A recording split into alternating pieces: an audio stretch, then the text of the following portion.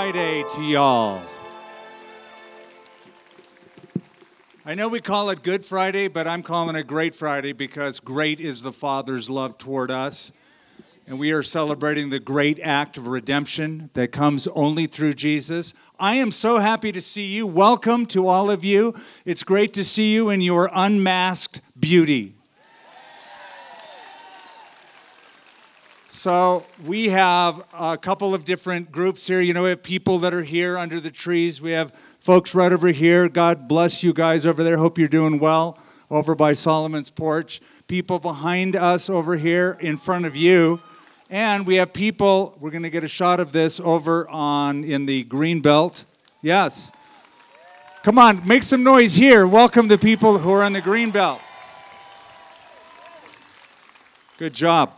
Now, those of you in the green belt, we're going to be quiet. You're going to make some noise for us and say, hey. There. Can you hear them? Yeah, good. Well, the theme this year that we have chosen is on the road. You've seen this with this really cool 69 Mustang that's out here.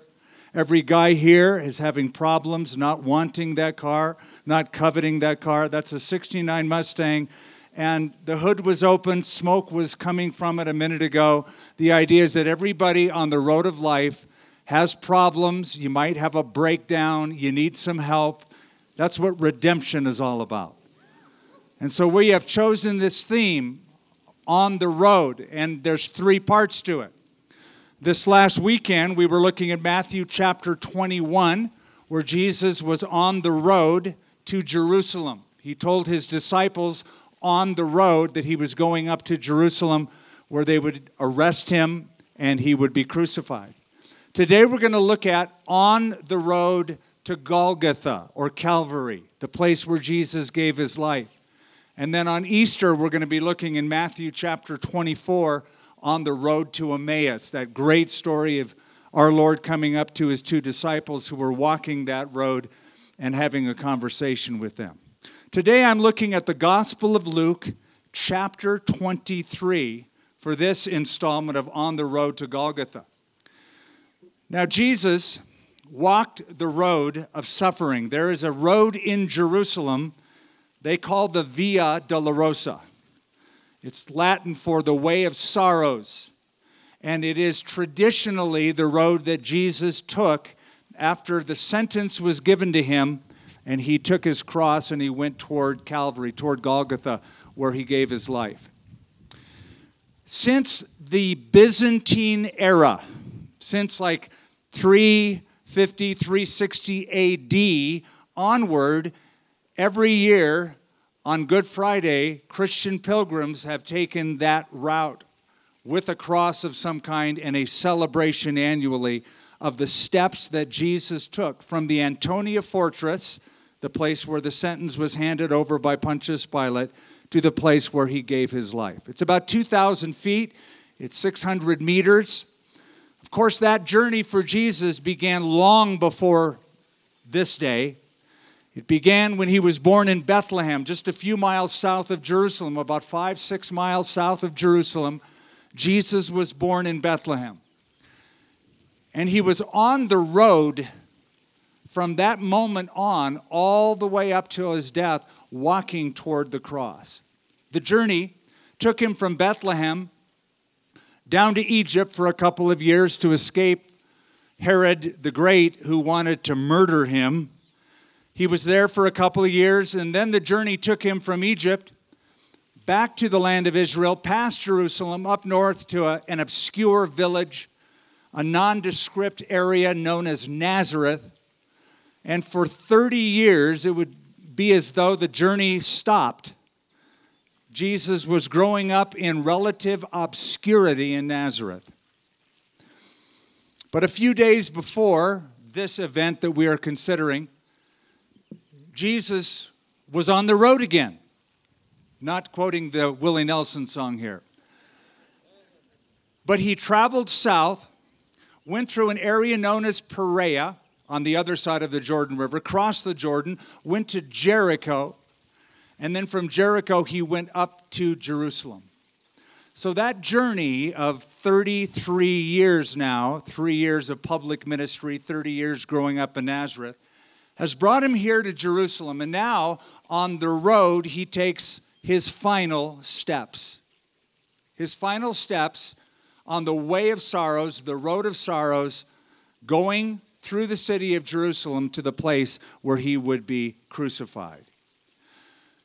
When he stood before Pontius Pilate, and we're going to read a snippet of that here, he stands on part of the road that John calls the pavement. The pavement. It was a courtyard area where prisoners were often handed their sentence. And then from the pavement, from that part of the road, he went toward Skull Hill, where he died. He died at Calvary. He died at Golgotha. All of those are the same word for this, are different words for the same place, just different languages. Golgotha is Hebrew, Calvary is Latin, cranion or cranium is Greek. They all mean the same thing, the skull. He went to Skull Hill where he died. So when people ask you, where do you go to church? Really, you go to Skull Church. That's what Calvary means. It's the place of the skull, it's the place where death was meted out to, to enemies of the Roman Empire. We're going to look today at some characters that were on the road that Jesus met. First was Pontius Pilate. It was Pilate that put Jesus on the road. We read in Luke chapter 23 that the crowd shouted, Crucify him. He said to them, Why, what evil has he done? I have found no reason for death in him. I will therefore chastise him and let him go. This is Luke 23, now verse 23. But they were insistent, demanding with loud voices that he be crucified. And the voices of these men and of the chief priests prevailed. So Pilate gave sentence that it should be as they requested. And as he released to them the one they requested, who for rebellion and murder had been thrown into prison, that is Barabbas, but he delivered Jesus to their will. Pontius Pilate was the one that put Jesus on the road to the cross. Now, there are moments in history that define people in that era. There are questions that people ask and answer that define who they are and define their moment in history and, in this case, in all of eternity. I heard a story about a man who went to a, a, Super Bowl game. He didn't get great tickets, but after all, he was at the Super Bowl nonetheless. He was seated in the very upper row, up in the nosebleed section, way in the corner. He couldn't see very well, but he was so excited to be at the Super Bowl. But about halfway through the first quarter, he looked down and he saw an empty seat that was right by the field. And he thought, I can't believe it. It's Super Bowl and nobody is sitting in that seat. So he made his way down. He found an elderly gentleman sitting there and he said, Excuse me, could I sit here? The man said, Sure, you can sit here. Then the young man said, uh, I can't believe that this seat is not occupied. And the man said, Actually, that's my wife's seat. And she and I have gone to the Super Bowl our entire married life. We have never missed a Super Bowl since 1967 until this year. She died recently, and so this seat is empty. The young man said, I am so sorry that you lost your wife, but I, I, would think you would be able to get a friend to go with you to the Super Bowl or a relative to come with you to the Super Bowl. And, and he said, the old man said, No, they're all at the funeral. Now, that, that answer defined that old man, defined him as somebody who was selfish and had his priorities wrong and wouldn't even have the kindness to go to his own wife's funeral. Likewise, Pilate asked a question and answered the question that defined him forever. He said, though not in this gospel, but in the gospel of Matthew, as he faced Jesus, he said, What shall I do with Jesus who is called the Christ? That was the question. And then he gives his answer.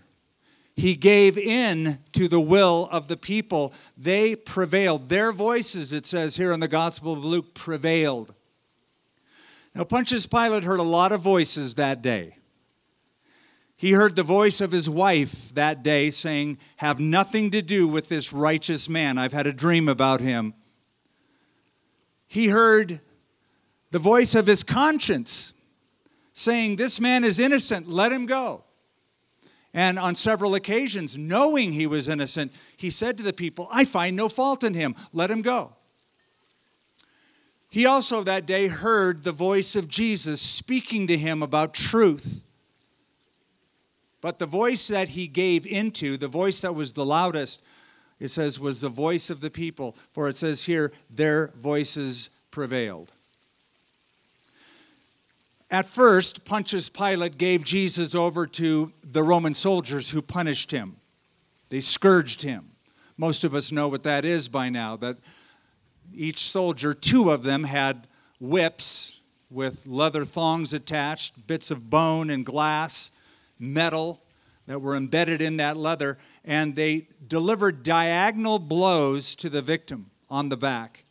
And the straps, because they had the glass and the metal, would grab into the flesh, lay hold of it, and then lacerate it. And history tells us that many victims who were flogged this way did not even survive that because it would dig into the deep tissues, through the muscles, into the viscera. Even organs were exposed to sight. Jesus went through that. And Pilate was hoping that would be enough for the people, but it wasn't. They still cried out, Crucify him, crucify him. Jesus faced Pilate. But he didn't go through one trial. According to the New Testament, Jesus faced no less than six separate trials. Trial number one was before Annas, the high priest. Trial number two was before Caiaphas, the high priest. Trial number three was before the entire Sanhedrin, the Jewish rulers, early in the morning. Trial number four was before Pontius Pilate. Trial number five was before Herod, the, uh, the tetrarch of the northern district in Galilee. And then the sixth trial, once again, was Pontius Pilate, where he said, Crucify him. And he gave over to the people. So Pilate put him on the road. The second character we meet is a guy by the name of Simon. Simon from an area known as Cyrene. Simon helped him on the road. We are told in verse 26 as they led him away, they laid hold of a certain man, Simon, a Cyrenian, who was coming from the country, and on him they laid the cross that he might bear it after Jesus. A man walking on the road comes into Jerusalem. The gospel stories give us his name. His name is Simon. I'm going to tell you a little bit about him. And the Roman soldiers conscript him to help Jesus carry the cross all the way to Calvary, to Golgotha. Of course, this is Rome, and Rome has the authority to do whatever they want, but it was highly unusual for anybody to help anybody else carry the cross because Roman law dictated that the criminal must bear his own cross to the place of execution.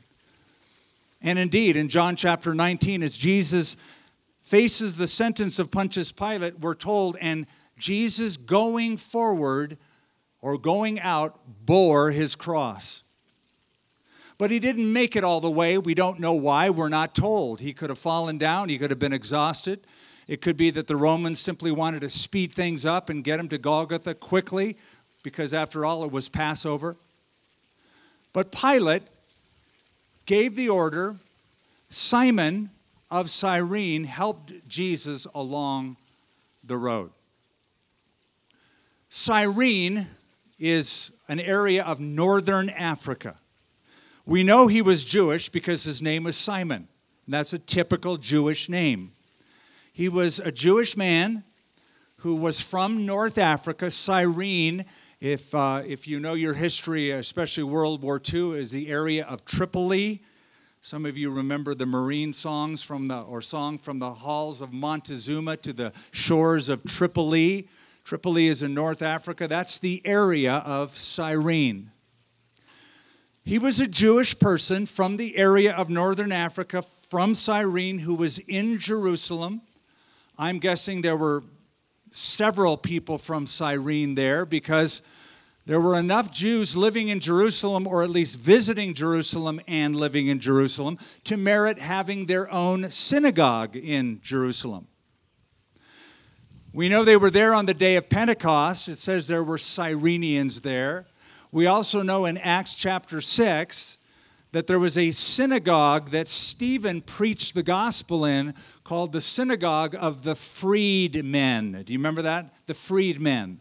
And then it says afterwards, in parentheses in that text, people from Cyrene and Alexandria, that would be in Egypt.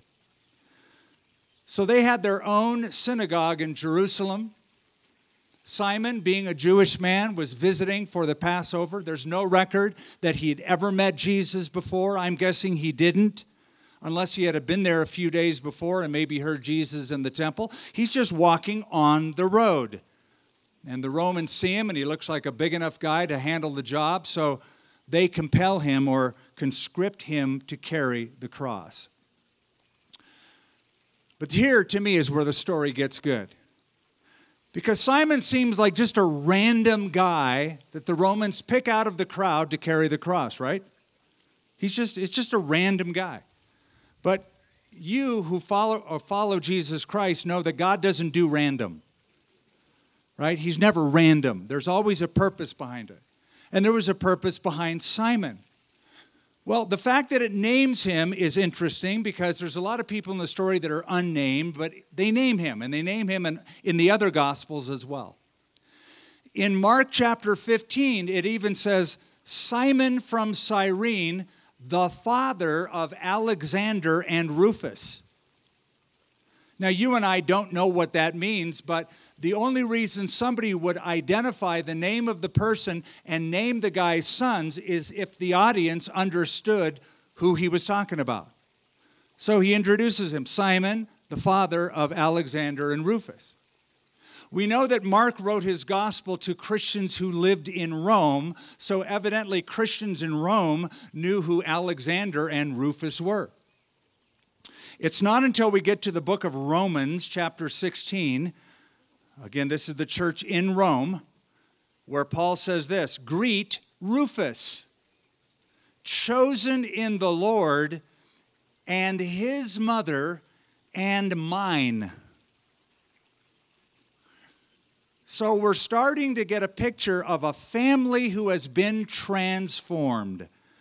A man, a Jewish man named Simon, who came to believe in the merits of the cross of the one that he was carrying that cross for to go to Golgotha. His wife, whoever she was, gets saved, becomes near and dear to the church in Rome. Rufus, the son, becomes a leader in the church in Rome, and this family becomes so close to Paul the Apostle that he says, It's like having my own mother his mother and mine. Something else.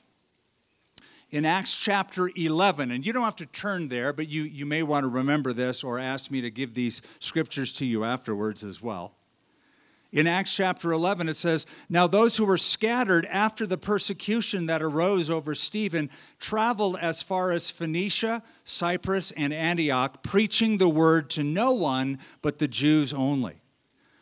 But some of them were men from Cyprus and Cyrene, who, when they had come to Antioch, spoke to the Hellenists, preaching the Lord Jesus. And the hand of the Lord was with them, and a great number believed and turned to the Lord. Well, now we understand that there's a church in Cyrene, not just a synagogue filled with Jewish people, but there's a believing assembly of Christians who are sending out missionaries, and they send missionaries to Antioch to preach the gospel. Something else. Two chapters later, Acts chapter 13, Now, in the church that was at Antioch, there were certain prophets and teachers Barnabas, Simeon, who was called Niger, Lucius of Cyrene, Manaen, who had been brought up with Herod the Tetrarch and Saul, and they ministered to the Lord and fasted. The Holy Spirit said, Now separate to me Barnabas and Saul for the work to which I have called them. So now we know that Simon and his wife were saved. Their son Rufus was influential in the church of Rome. There's a church that gets started in Cyrene. They send out missionaries to Antioch. One of them becomes a teacher, a pastor in Antioch, and is part of the group that sends Paul the Apostle out on his missionary journey. All of that from a random guy walking down the road. God doesn't do random. And I want you to know whatever part of the road of life you are on and life seems haphazard and random, you just remember this story. God doesn't do that. God has a purpose behind that person, behind that event. Even though you don't get it right now, you don't understand. Maybe Simon thought, man, I've got other things to do besides carry a cross for a criminal. But then he comes to have a faith relationship with Jesus. His wife has one, his sons have one. A church gets started. And people from his hometown go out and pastor that church. Amazing story. So Pilate put him on the road. Simon helped him on the road. There's another group of characters we meet on the road a group of women, unnamed women. Women mourned him on the road. We are told in verse 27 of Luke 23 a great multitude of the people followed him, and women who also mourned and lamented him. But Jesus, turning to them, said, Daughters of Jerusalem, do not weep for me, but weep for yourselves and for your children. For indeed, the days are coming in which they will say, Blessed are the barren, wombs that never bore, breasts which never nursed. And they will begin to say to the mountains, Fall on us, and to the hills, Cover us. For if they do these things in the green wood, what will be done in the dry? A group of women on the road are part of the parade route from the Antonia Fortress to Golgotha. Very strong language is employed in the text when it says they were lamenting and mourning. It speaks of somebody beating their breast in deep grief. Again, they are unnamed. Who are they? And why are they there? The best guess is that these were professional mourners. Professional mourners. We don't get this in the West because we don't do this in the West, but in the East, they did that. They thought that when a person dies, uh, you, you need to make a, a huge wailing and weeping, and so you would actually hire people to come to the funeral and shout and scream and mess their hair up and tear their clothes. And the louder and weirder it sounded, the more you loved that person.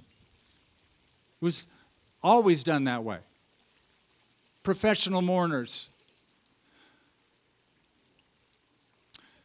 A few years ago in England, there was a group of people that started a business. Listen to this it was called Rent a Mourner. And it was for this purpose. The idea is that people who are really in mourning because they lost a relative shouldn't be engaged in the weeping and the howling and the wailing. They should be involved in greeting guests and really going through the process of mourning. So they would offer services as professional mourners, and they got between $30 and $120 per event, not including tips. Professional mourners. That was very common in the New Testament era. They probably didn't know Jesus. In those days, most professional mourners hired for events like this did not even know the relatives or the family. They got a wage, they wailed, they tore their clothes, they threw dust in the air, and people understood that's just what we do. And especially for somebody esteemed like Jesus, you should have some kind of presence of mourning people in that event, especially if he is so ill treated by the Roman Empire. By the way, just as an aside, just, just a, little FYI, never in the New Testament do we ever read of women being hostile to Jesus, but always being tender and sweet toward him. We find plenty of men who are hostile toward him all the way through, but when it comes to women, they were always non hostile, non aberrational, very accommodating, very sweet toward him. I think that there were lots of sympathetic women who saw the plight of Jesus, and here's a group of them. I don't think they were believers. I just think they were professional mourners, but they could have been sincere and they could have felt very sympathetic, but they weren't true disciples. There's a lot of people like that today. There's a lot of people that they kind of like Jesus. They're not opposed to him, they think he's wonderful, they're attracted to his tenderness, but they're not true disciples of Christ. They don't really follow him. There's been no repentance in their life. They're just attracted to him. And so Jesus says to them as they're weeping, Don't weep for me. I'm not the victim. You are. And he pronounces judgment on Jerusalem. These are words of judgment. As he, as he talks about the city that is going to fall in 70 AD, he's already predicted it several times. He did it on the Mount of Olives a few days before this. He said the city is going to be surrounded by enemies and be destroyed. This temple is going to be destroyed. So he says, Don't weep for me. I'm not the real victim. You need to know that Jesus was not a victim. He was the victor. He said, Nobody takes my life from me. I lay it down of myself. I have the power to lay it down, and I have the power to take it again. And that's what he's doing. He's giving his life. So he says to them, Don't weep for me, weep for yourselves and for your children. You're going to be victimized by the Roman government. And he quotes a passage from Hosea the prophet, chapter 10. Hills fall on us, mountains cover us. That's what you're going to say when Jerusalem falls. You're going to say that to the hills and the mountains, like Hosea the prophet wrote about. Now, fast forward, you don't have to turn to it, but Revelation chapter 6, there's the sixth seal during the tribulation period, and the same text out of Hosea is quoted that people during the tribulation period, when God judges the world, will say to the mountains, Fall on us, and to the hills, Cover us. Hide us from the presence or the face of him who sits on the throne. Hide us from the wrath of the Lamb, for the day of his wrath has come, and who is able to stand? So Jesus has a few words to say to these women Don't weep for me, weep for yourselves and for your children. So Pilate put him on the road. Simon helped him on the road. The women mourned him on the road. Another group we meet is a group of criminals, two criminals. Criminals accompanied him on the road. For we are told this. Verse 32 there were also two other two others criminals led with him to be put to death. So they were part of that parade that left the Antonia fortress, were sentenced to death. They're walking with Jesus in that group all the way out to the place of execution. And when they had come to the place called Calvary, where they crucified him, and the criminals, one at the right hand and the other at the left. Now we know, because we've read the story before, we know what happens to one of them. One of them, one of the criminals, comes to believe in Jesus, has personal faith in Jesus. It is like a, it's a true foxhole conversion. They're at the point of death, and one of them comes to believe in Jesus Christ. Here's what I love Jesus always had people like this around him he always had sinners around him, he always had riffraff around him. And it, it always caused a stir. People would always gossip. Man, you, you have like the wrong kind of people around you, Jesus. Let me be your PR person. Get some good people around you. But Jesus loved sinners. He was called the friend of sinners. It's only appropriate that when he dies, he is surrounded by those same people that he loved so dearly. They're walking with him on the road. One of them comes to believe in Jesus, as I mentioned. He puts his faith in Jesus Christ, he confesses him. He says, Lord, Lord, remember me when you come into your kingdom. Now, that little statement reveals not only is he confessing Jesus as Lord, but he is trusting in him and in who he was. Remember me when you come into your kingdom. He believed that Jesus was a king who was going to establish a kingdom. And then, third, he made it personal. He said, Remember me when you come into your kingdom. And you know, faith always has to be personal. You know that, right? We like to say God has no grandchildren, only children. You must make a personal commitment, a personal decision. You can't live off the faith and commitment of your parents or grandparents. It has to be real to you. You have to be his disciple as well as anybody else. So you have two criminals. One was crucified on one side, one was crucified on the other. Both were equally as close to Jesus as the other. Both had a unique opportunity. One gets saved and goes to heaven, one is damned and goes to hell. Amazing. Both had the opportunity, both so close, but one exercised faith and believed and because he believed, Jesus said, Today you will be with me in paradise. And I want you to know if you're here today, you've been brought by a friend or a relative, you're at this communion service. We kind of think that people who come to these services are all born again believers, but it could be that you don't have a relationship with Him that's real and personal. The Bible promises whoever calls on the name of the Lord will be saved. I'm encouraging you to do that if you haven't done it. Right where you're seated, no matter what part of the campus you're at, no matter where you are in cybersphere, if you're watching this, this is being live streamed around the country and around the world. It's on local radio as well. No matter where you're at, call upon the name of the Lord. So we have Pilate who put him on the road. Simon helped him on the road. Women mourned him on the road. Criminals accompanied him on the road, and finally, the Father heard him on the road. And I'm going to conclude with this little statement. Then Jesus said, Father, forgive them, for they do not know what they do. And they divided his garments and they cast lots. That's an unexpected thing to hear Jesus say.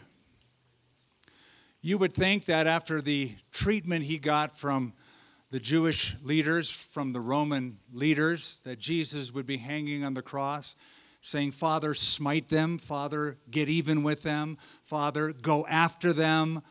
Um, maybe he would have addressed the crowd and said something like, Just wait for three days, buddy. I'll be back and I'm going to come and get you.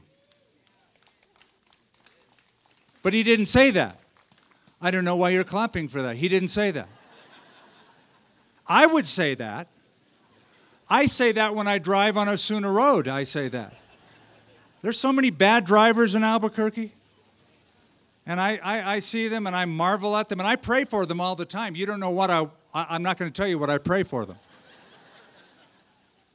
Uh, you, you may just want to remember this. I pray Psalm 58 for them. I won't even tell you what that is. But Jesus said, Father, forgive them. You know why he said that? Because that's our greatest need.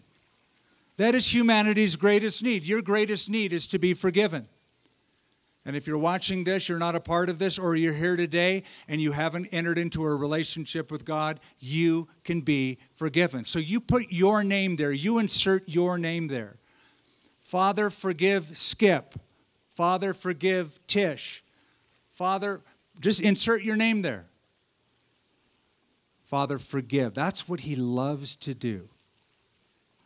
And so we're going to take communion, and our communion board is coming right now to pass that out. And we're going to all take the elements, we're going to take it together. These beautiful tokens of the sacrifice of Jesus. As he came to the end of his road, which is the beginning of our road, because that road led to the cross, but then to resurrection, and then he promises new life to us. You take these elements and you hold on to it as they're being passed out. If you feel unworthy to take the elements, you're in the right place. We're all unworthy. All of us are unworthy. He makes you worthy. You take those elements and you thank Him for forgiveness. You personalize it.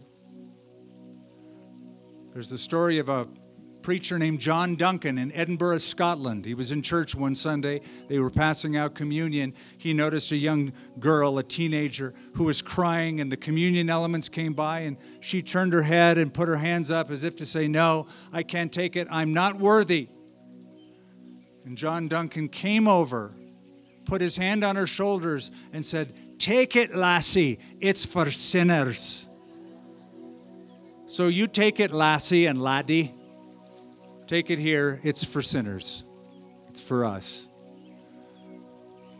He was on the road and went to the cross for you and for me. Father, thank you for the blood of Jesus Christ that cleanses a man, a woman from all sin. Thank you that we can pause on the road of life. We can gather here in this amphitheater outside on such a beautiful day that you have provided. In the amphitheater, in the green belt, via computer or device all around the world, and enter into communion with you because of what Jesus has done for us. If you've never given your life to Christ, right where you're seated, right where you are, pray and ask Him to come in. Say, Lord, I admit, I know that I'm a sinner. I admit it. Forgive me. I believe in Jesus. I believe He died on a cross for me, shed His blood for me, rose from the dead for me. I turn from my sin. I repent of it. I turn to Jesus as Lord and Savior. Fill me with your Spirit. Help me to walk with you. And then you take it, lassie, it's for sinners. Does everybody have the elements?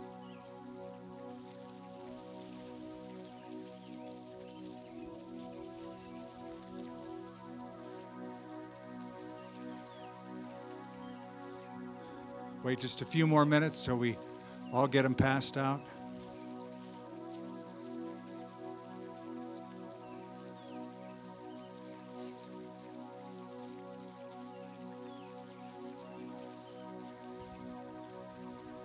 Hope you guys are doing okay in the sun. You doing okay over there? Good. Oh, that breeze. Thank you, Lord. Little mercies.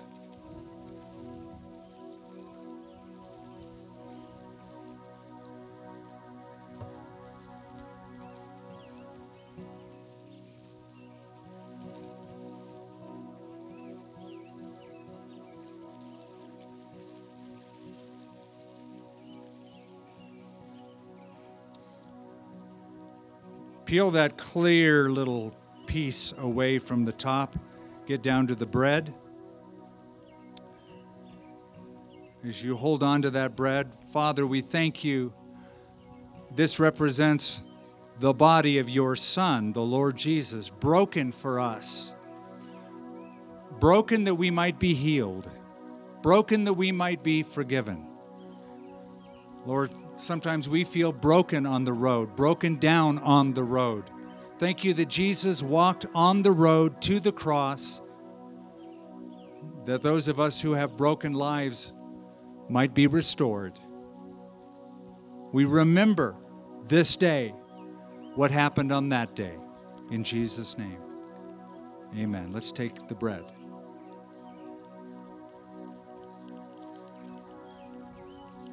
And as you hold the cup,